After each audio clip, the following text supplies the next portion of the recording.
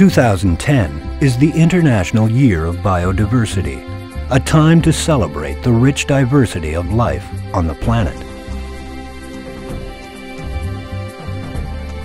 Natural history museums are a great place to start. They care for invaluable collections and are dedicated to the preservation and interpretation of our natural heritage.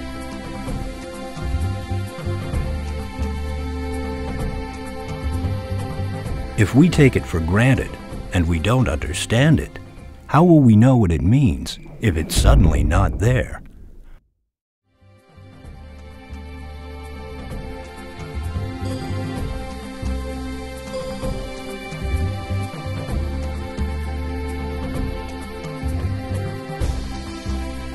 A message from the Alliance of Natural History Museums of Canada.